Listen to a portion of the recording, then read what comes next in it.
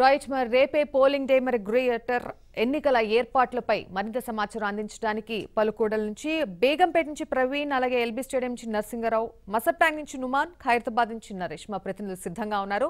ముందుగా ప్రవీణ్ ఎలా ఉన్నాయి మరి గ్రేటర్ ఎన్నికలు? రేపే జరగబోతున్నాయి. అందరూ కూడా ఎప్పుడెప్పుడు ఈ రోజు వస్తుందని అటు అధికారులు కావచ్చు నిలబడినటువంటి క్యాండిడేట్స్ కావచ్చు ఇటు ప్రజల్లో కూడా చాలా ఉత్కంఠ కనిపిస్తోంది. మరి రేపు ఎన్నికల ఏర్పాట్లు ఏ విధంగా జరుగుతున్నాయి? ముఖ్యంగా చూసుకున్నట్లయితే దాదాపుగా మరికొద్ది గంటల్లో పోలింగ్ స్టార్ట్ అవడంతో ఏదైతే డిఆర్సీ సెంటర్ నుంచి డిస్ట్రిబ్యూషన్ అలాగే ఆ కౌంటింగ్ సెంటర్స్ నుంచి కూడా పూర్తిగా రిసెప్షన్ సౌండర్స్ నుంచి పూర్తిగా అన్ని ఏర్పాట్లన్నీ చేశారు. ఇక్కడ నుంచి డిస్ట్రిబ్యూషన్ పోలింగ్ సంబంధించినటువంటి అన్ని సామాగ్రితో ఇప్పటికే అటు పోలింగ్ సిబ్బంది అంత సిబ్బంది కూడా బయలుదేరిన పరిస్థితి కనిపిస్తుంది. ప్రస్తుతం మనం చూసుకున్నట్లయితే దాదాపుగా సికింద్రాబాద్ పోలింగ్ పార్లమెంట్ సంబంధించి ఇక్కడ ఉన్నాము. దాదాపుగా ఇక్కడ ఇరవై ఏడు డివిజన్లకు సంబంధించి పూర్తిగా జరగనుంది. దాదాపుగా ఇక్కడ చూసుకున్నట్లయితే ప్రస్తుతం మనం వెస్లీ కాలేజ్ దగ్గర బేగంపేట దగ్గర ఉన్నట్టు నాలుగు డివిజన్లకు సంబంధించి ఇక్కడ అన్ని కూడా ఏర్పాట్లు చేస్తున్నారు. ఎప్పటికప్పుడు ఉదయం దాదాపుగా ఎనిమిది గంటల నుంచి కూడా అధికారులంతా కూడా సర్వం నిమగ్నమైపోయి ఉన్నారు. ఎలక్షన్ సిబ్బందికి ఎప్పటికప్పుడు అటెండెన్స్ తీసుకునే దగ్గర నుంచి ఎవరు ప్రొసీడింగ్ ఆఫీసర్ ఏపీఓ అలాగే ఓపీఓ అందరూ ఇక్కడికి వచ్చి అటెండెన్స్ తీసుకున్న తర్వాత వాళ్ళకి సంబంధించిన సామాగ్రి అనేది కూడా ఎప్పటికప్పుడు అందించేసేసి వాళ్ళని దాదాపుగా రెండు గంటల ప్రాంతం తర్వాత బ్యాలెట్ బాక్సులు కూడా అందించడం జరిగింది. వాళ్ళందరూ కూడా దాదాపుగా మూడు గంటల ప్రాంతం నుంచి కూడా వాళ్ళకి సంబంధించినటువంటి రూట్ మ్యాప్లు ఏదైతే ఉన్నాయో ఆ రూట్ మ్యాప్లకు సంబంధించి అక్కడ వెళ్తున్న పరిస్థితి కనిపిస్తుంది. మొత్తంగా ఇక్కడ చూసుకున్నట్లయితే దాదాపుగా యాభై ఆ, రూట్లు ఉన్నాయి. ఆ దాదాపుగా యాభై బస్సులు కూడా ఏర్పాటు చేశారు. వాటి ద్వారా పెద్ద ఎత్తున కూడా మధ్యాహ్నం నాలుగు గంటల నుంచి అటు సిబ్బంది అంతా కూడా తరలి వెళ్తున్న ఆ, పరిస్థితి అయితే కనిపిస్తుంది. దాదాపు ఇక్కడ సంబంధించిన నాలుగు డివిజన్లలో కూడా ఇప్పటికే మూడు డివిజన్లకు సంబంధించిన అభ్యర్థి సిబ్బంది మాత్రమే వెళ్ళారు. ఇంకా బన్సాలిపేటకు సంబంధించినటువంటి సిబ్బంది మాత్రం ఇంకా ఆ, బా- బాక్సులు తీసుకొని ఇంకా వెళ్ళడానికి సిద్ధంగా ఉన్నారు. కొంత రిజర్వేషన్ సిబ్బంది ఎవరైతే ఉన్నారో వాళ్ళందరూ కూడా పీఓలు ఏపీఓలు కొంతవరకు తగ్గడంతో వాళ్ళందరూ వచ్చిన దాకా వెయిట్ చేసిన పరిస్థితి కనిపిస్తుంది. ముఖ్యంగా మూడు డివిజన్లకు సంబంధించి మాత్రం ఆ, పూర్తిగా తరలి వెళ్ళారు. నాలుగో డివిజన్ బన్సాలిపేటకు సంబంధించినటువంటి బాక్సులు ఇంకా తీసుకోవాలి. వాళ్ళు కూడా మరికొంత సేపట్లో బయలుదేరే అవకాశం ఉంది. వాళ్ళకి సంబంధించినటువంటి బ్యాలెట్ బాక్సులు చెక్ లిస్ట్ అంతా చెక్ చేసుకొని ఇక్కడి నుంచి వెళ్తున్న పరిస్థితి కనిపిస్తుంది. అలాగే వాళ్ళు వీల్ చైర్స్ కూడా మనకి తరలిస్తున్న పరిస్థితి అయితే మనం చూస్తూ ఉన్నాం విజువల్స్లో. లోపల అంతా కూడా పక్కాగా ఏ టీం ఆ టీం సపరేట్ చేసేసి పంపిస్తున్న పరిస్థితి కనిపిస్తుంది. ముఖ్యంగా సికింద్రాబాద్ డివిజన్లో చూసుకున్నట్లయితే మొత్తంగా ఇరవై ఏడు డివిజన్ స్థానాలు ఉన్నాయి. ఇరవై ఏడు ఇరవై ఏడు సంబంధించి ఎప్పటి అన్ని చోట్ల కూడా ఇంకా చివరి దశలో ఉన్నాయి తరలింపు ప్రక్రియ చూసుకున్నట్లయితే. అందరూ కూడా ఇప్పుడు ఆ రూట్ మ్యాప్ ప్రకారం వెళ్తున్నారు. దాదాపుగా పది ప్రాంత పది గంటలకల్లా పూర్తిగా సిబ్బంది అంతా వారికి వారికి కేటాయించిన ఆ పోలింగ్ బూతులకి చేరుకునే అవకాశం అయితే కనిపిస్తుంది ముఖ్యంగా మల్కాజిగిరికి సంబంధించినటువంటి చూసుకున్నట్లయితే దాదాపుగా అక్కడ యాభై మూడు శాతం గతంలో జరిగింది. ఇప్పుడు కూడా దాదాపుగా మూడు వందల పంతొమ్మిది పోలింగ్ కేంద్రాలు ఉన్నాయి.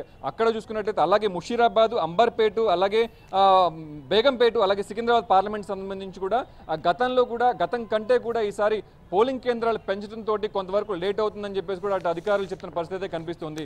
అలాగే పోలింగ్ ఎవరైతే సిబ్బంది ఉంటారో పీఓలు ఏపీఓలు వాళ్ళందరూ కూడా ఎటువంటి ఇబ్బందులు పడకుండా పటిష్టంగా ఏర్పాట్లు చేశాము. వాళ్ళకి సంబంధించినటువంటి ఫుడ్ ప్యాకెట్స్ కావచ్చు చెక్ లిస్ట్ కావచ్చు అన్నీ కూడా ఇక్కడే చెక్ చేసి ఒకటికి రెండు సార్లు చెక్ చేసి పంపించడంతో కొంతవరకు లేట్ అవుతుందని చెప్పేసి అంటున్నారు. మొ- మొదటి నుంచి చూసుకుంటే ఆరు గంటల వరకు ఆరు గంటలకల్లా పూర్తిగా క్లియర్ చేస్తాము.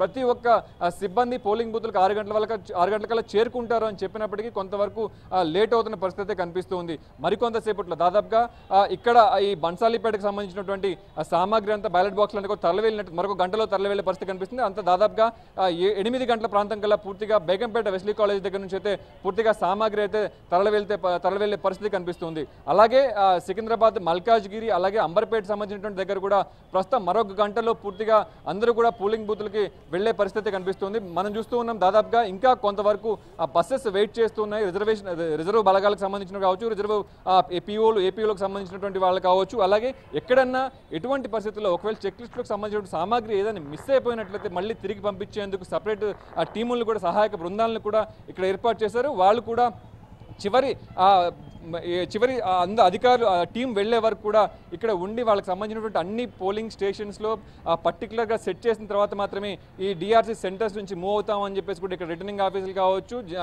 డిప్యూటీ కమిషనర్ కావచ్చు చెప్తున్న పరిస్థితి అయితే కనిపిస్తుంది. అలాగే సికింద్రాబాద్ పార్లమెంట్ నియోజకవర్గంలో ఓటింగ్ ఓటర్ల సంఖ్య చూసుకున్నట్లయితే దాదాపుగా ఇరవై రెండు లక్షల నలభై ఆరు వేట్ల ఓట్లు ఉన్నాయి. మొత్తంగా ఈసారి మాత్రం ఫిఫ్టీ పర్సెంట్ అబో పోలింగ్ జరుగుతుందని చెప్పేసి కూడా వీళ్ళు అంచనా వేస్తున్నారు. అలాగే దానికి సంబంధించి ఎక్సెసరీస్ అమౌంట్స్ని కూడా ఎక్సెసరీకి సంబంధించినటువంటి బ్యాలెట్ బాక్సులు అలాగే ఓటర్ స్లిప్ అన్ని కూడా వాళ్ళు సప్లై చేయడం జరిగింది. ఎటువంటి అవసరం వచ్చినా కూడా వెంటనే ఇక్కడికి వచ్చి తీసుకువెళ్ళొచ్చు అని చెప్పి సహాయక ఉండాలి ఉండడంతో అందరూ కూడా ఇక్కడి నుంచి వెళ్తున్న పరిస్థితి అయితే కనిపిస్తూ ఉంది. రైట్ ప్రవీణ్ మొత్తానికి బేగంపేట్ డివిజన్లోని పోలింగ్ బూత్ పూర్తి భద్రతా ఏర్పాట్లతో సిద్ధంగా ఉంది. ఇక ఎల్బీ స్టేడియం నుంచి నరసింహారావు సిద్ధంగా ఉన్నారు. నరసింహారావు ప్రస్తుతం అక్కడ పరిస్థితి ఏ విధంగా ఉంది? జిహెచ్ఎంసీ ఎలక్షన్స్ రేపే కావడంతో అక్కడ ఉన్నటువంటి ఏర్పాట్లు ఏ విధంగా ఉన్నాయి?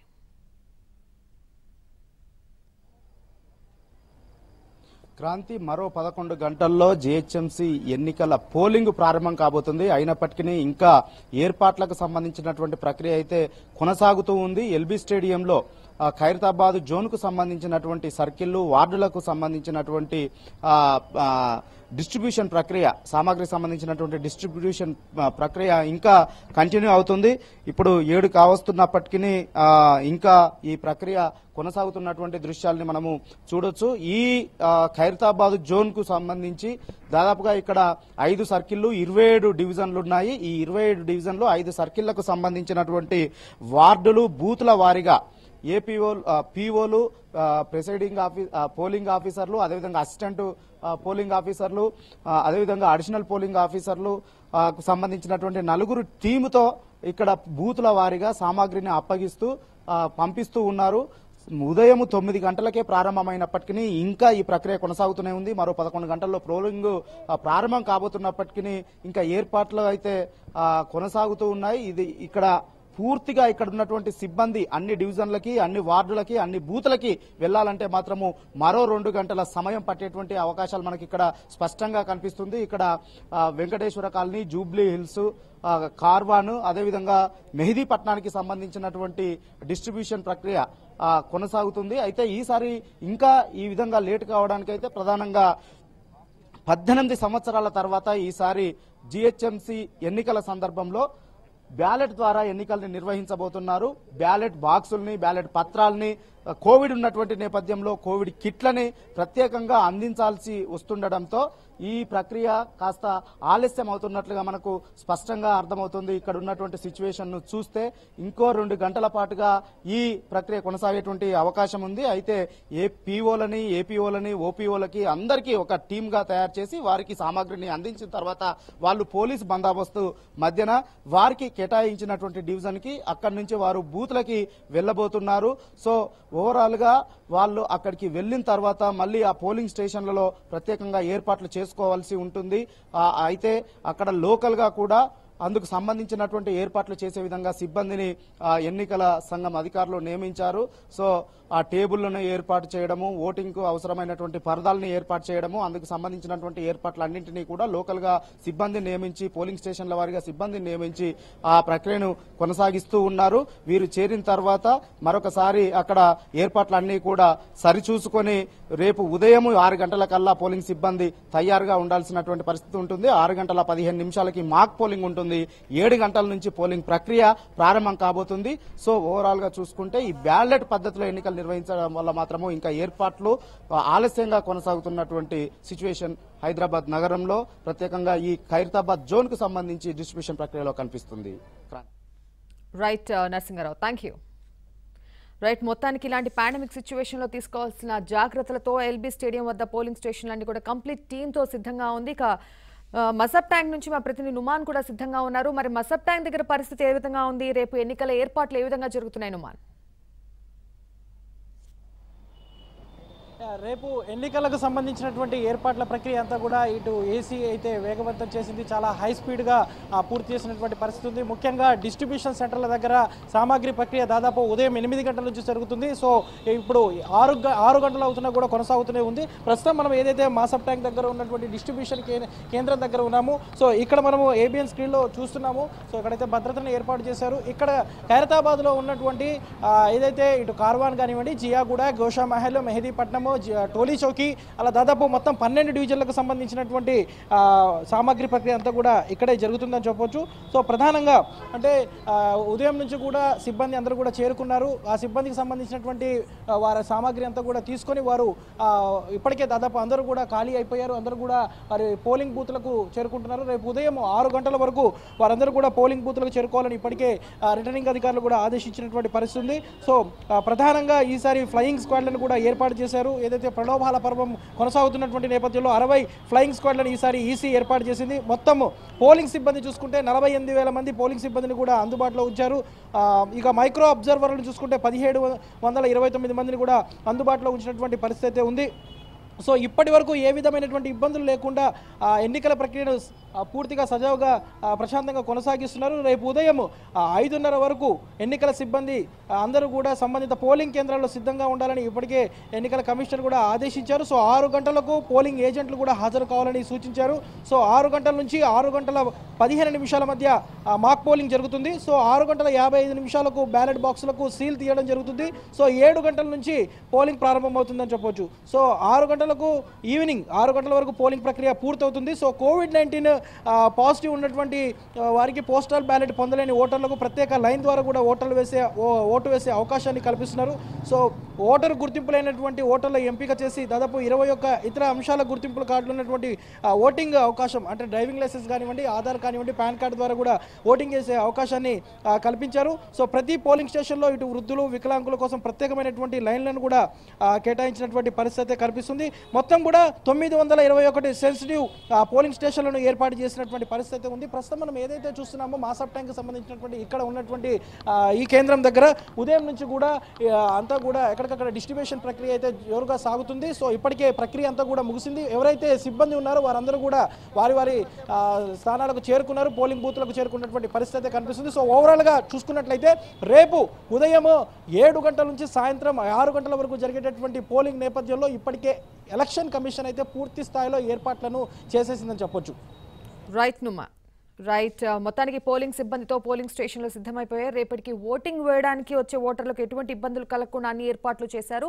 ఇక ఖైరతాబాద్ నుంచి మా ప్రతినిధి నరేష్ సిద్ధంగా ఉన్నారు. నరేష్ ప్రస్తుతం అక్కడ పరిస్థితి ఏ విధంగా ఉన్నాయి? అక్కడ ఏర్పాట్లు ఏ విధంగా జరుగుతున్నాయి? ఇలాంటి పాండమిక్ సిచ్యువేషన్లో తీసుకోవాల్సిన జాగ్రత్తలన్నీ తీసుకుంటున్నారా? మరి కొన్ని గంటల్లోనే గ్రేటర్ ఎన్నికలకు సంబంధించిన పోలింగ్ మొదలు కాబోతున్న పరిస్థితి. అయితే కొంత అనుకున్న సమయానికంటే కూడా కొంత ఆలస్యంగా పోలింగ్ సిబ్బంది పోలింగ్ స్టేషన్లకు చేరుకుంటున్నారు. ఇప్పుడిప్పుడే మెల్లగా చేరుకుంటున్న పరిస్థితి కనిపిస్తుంది. వాస్తవానికి మధ్యాహ్నానికి అంటే సాయంత్రం ఐదు ఆరు గంటలకంతా కూడా పోలింగ్ సిబ్బంది ఆయా ఎవరికైతే పోలింగ్ కేంద్రాలు కేటాయించారో ఆయా పోలింగ్ కేంద్రాలకు చేరుకోవాల్సి ఉన్నప్పటికీ కూడా ఇప్పుడే ఇప్పుడిప్పుడే సిబ్బంది ఒక్కొక్కరుగా వస్తున్న పరిస్థితి కనిపిస్తుంది. మనం ఖైరతాబాద్లోని తొంభై ఒకటవ పోలింగ్ కేంద్రం వద్ద ఉన్నాం. ఈ పోలింగ్ కేంద్రంలో ఐదు ఆరు ఏడు ఎనిమిదికి సంబంధించిన సర్కిల్కి సంబంధించిన ఓట్స్ వార్డు వార్డులకు సంబంధించిన ఓటర్లు ఇక్కడ ఓటు హక్కును వినియోగించుకోబోతున్నారు. రేపు ఉదయం ఏడు గంటల నుంచి. అయితే ముందుగా వీళ్ళంతా కూడా ఎవరైతే పోలింగ్ కేంద్రాల్లో పోలింగ్ అధికారులు కావచ్చు సిబ్బంది కావచ్చు వాళ్ళంతా కూడా కేటాయించిన పరిస్థితి వాళ్ళంతా కూడా ఇప్పటికే చేరుకుని వాళ్ళకి సంబంధించిన ఏర్పాట్లు చేయాల్సి ఉంది. ఇప్పుడిప్పుడే వాళ్ళంతా కూడా చేరుకుంటున్నారు. ఈ రాత్రికంతా కూడా వాళ్ళు ఏర్పాట్లు పూర్తి చేసుకుని రేపు పోలింగ్కి పో- ఏదైతే రెడీ కావాల్సిన పరిస్థితి అయితే కొంత ఆలస్యంగా నడుస్తున్నప్పటికీ కూడా ఒకటి రెండు గంటల్లోనే ఇదంతా కూడా ఈ ప్రక్రియ పూర్తి కాబోతున్నట్టు సమాచారం. ఏదైతే డిస్ట్రిబ్యూ డిస్ట్రిబ్యూషన్ సెంటర్స్ నుంచి వాళ్ళకి కావాల్సిన బ్యాలెట్ బాక్సులు కావచ్చు ఇతర ఏదైతే పేపర్స్ కావచ్చు ఇతర ఫర్నిచర్ కావచ్చు ఇవన్నీ కూడా ఇప్పుడు ఇప్పుడే చేరుకున్న పరిస్థితి కనిపిస్తుంది. వాస్తవానికి కరతబాద్ అనేది చాలా పెద్ద సర్కిల్గా చెప్పవచ్చు ఇక్కడ దాదాపుగా ఆరు డివిజన్లోనే దానిలో వాళ్ళు కేటాయించిన వార్డులు కావచ్చు పోలింగ్ కేంద్రాలు కావచ్చు పెద్ద ఎత్తున చాలా పెద్ద సర్కిల్గా ఖైరతాబాద్కు పేరుంది కాబట్టి కొంత ఆలస్యంగా జరుగుతున్న సమాచారం. మరోవైపు రేపు ఉదయం ఆరు గంటలకు మాక్ పోలింగ్ నిర్వహించబోతున్నట్టు అధికారులు చెప్తున్నారు. ఐదున్నరకంతా కూడా సిబ్బంది అంతా కూడా ఇక్కడ చేరుకోవాల్సి ఉంటుంది. ఆరు గంటలకు రాజకీయ పార్టీలకు సంబంధించిన ఏజెంట్లు ఎవరైతే ఉంటారో ప్రతి ప్రతి పార్టీకి ప్రతి పోలింగ్ కేంద్రంలో ఒక ఏజెంట్ ఉంటాడు కాబట్టి అతను ఆరు గంటల వరకు చేరుకోవాల్సి ఉంటుంది. ఆరు నుంచి ఆరు పదిహేను వరకు అంటే పదిహేను నిమిషాల పాటు మాక్ పోలింగ్ నిర్వహిస్తారు. ఆ తర్వాత ఏదైతే దానికి సంబంధించిన సీల్ కూడా బ్యాలెట్ బాక్సులకు సీల్ వేస్తారు. ఆ సీల్ వేసిన తర్వాత ఏడు గంటలకు వాళ్ళు పూర్తిగా పోలింగ్ మొదలు కాబోతుంది సాయంత్రం ఆరు గంటల వరకు కూడా కూడా పోలింగ్ కొనసాగుతుంది. అయితే ఇక్కడ ఒక విషయాన్ని గమనించాల్సి ఉంటుంది. ఈసారి కరోనా నేపథ్యంలో జరుగుతున్న మొదటి ఎన్నికలు అంటే మన పూర్తి స్థాయిలో అంటే దుబ్బాక లాంటి ఉప ఎన్నిక జరిగినప్పటికీ కూడా పూర్తి స్థాయిలో గ్రేటర్ ఎన్నికలు. దాదాపు కోటి మంది జనాభా డెబ్బై నాలుగు లక్షలు పైగా ఉన్న జనాభా ఈసారి ఓటు హక్కును డెబ్బై నాలుగు లక్షల పైగా ఓటర్లు వాళ్ళ ఓటు హక్కును వినియోగించుకోపోతున్న నేపథ్యంలో ఈసారి రాష్ట్ర ఎన్నికల సంఘం కొన్ని ప్రత్యేక ఏర్పాట్లను కూడా తీసుకున్నట్టు తెలిసింది. గతంలో జరి- జరిగిన ఎన్నికలు వేరు ఇప్పుడు జరుగుతున్న ఎన్నికలు వేరు కాబట్టి కరోనా నేపథ్యంలో కొంత సామాజిక దూరం పాటించడం మాస్క్ తప్పనిసరి చేసింది. మరోవైపు కరోనా పేషెంట్లకు ప్రత్యేక క్యూ లైన్లు కూడా కేటాయించినట్టు అంటే క్యూ లైన్లు ఏర్పాటు చేయబోతున్నట్టు ఇప్పటికే ఎన్నికల సంఘానికి సంబంధించిన పార్థసారథులు కూడా ఎస్సీసీ స్పష్టం చేసిన పరిస్థితి వాళ్ళు సాయంత్రం ఐదు నుంచి ఆరు గంటల మధ్యలో అంటే ఒక గంట పాటు వాళ్ళకి అవకాశం కల్పిస్తున్నారు. ఒకవేళ కరోనా పేషెంట్ ఎవరైనా కానీ పోలింగ్ స్టేషన్కి రాలేని పరిస్థితి ఉంటే అతను ఆన్లైన్లో కూడా ఓటు వినియోగించుకునే హక్కు ఏదైతే అవకాశం కూడా కల్పించిన పరిస్థితి ఆరు గంటల తర్వాత ఎవరైనా ఓటు హక్కు వినియోగించుకోవాల్సి ఉంటే ఆరు గంటల లోపల క్యూ లైన్లో ఉన్న వాళ్ళకి అవకాశం కల్పిస్తామని చెప్తున్నారు. మొత్తానికైతే ఏర్పాట్లు అంటే కొంత ఆలస్యంగానే అయినా కూడా చాలా వేగంగానే జరుగుతున్నాయని చెప్పొచ్చు. అధికారులంతా కూడా ఇప్పుడిప్పుడే పోలింగ్ స్టేషన్లకు చేరుకుంటున్నారు. మరోవైపు రాజకీయ పార్టీలకు సంబంధించిన ఏజెంట్లు కావచ్చు ఇతర వాళ్ళంతా కూడా వాళ్ళ వాళ్ళ కేటాయించిన వార్డ్స్లో కావచ్చు చాలా బిజీ బిజీగా కనిపిస్తున్న పరిస్థితి అయితే మనకి పోలింగ్ వేద్ర పోలింగ్ కేంద్రాల వద్ద కనిపిస్తుంది. మరొక వైపు భద్రత పరంగా కూడా చాలా పెద్ద ఎత్తున జాగ్రత్తలు తీసుకుంటున్నారు. అంటే గత రెండు రోజులుగా నిన్న ఇవాళ అనేక వార్డ్స్లో కావచ్చు డివిజన్స్లో కావచ్చు నగదు ప- పంపిణీ చేస్తూ పట్టుబడుతున్న రైట్ నరేష్ బ్యాలెట్ పద్ధతి వల్ల కాస్త ఓటింగ్ ప్రక్రియ లేట్ అయినప్పటికీ కూడా పోలింగ్ ప్రక్రియలో ఎటువంటి ఆటంకాలు కలగకుండా అన్ని ఏర్పాట్లతో పోలింగ్ స్టేషన్లన్నీ కూడా సిద్ధంగా ఉన్నాయి. ఎనీ హ్యావ్ ఓటింగ్ అనేది ఓట్ చేయడం అనేది మన హక్కు కాబట్టి don't miss. Anyhow Praveen Narasimharao Numan Naresh thanks for the update.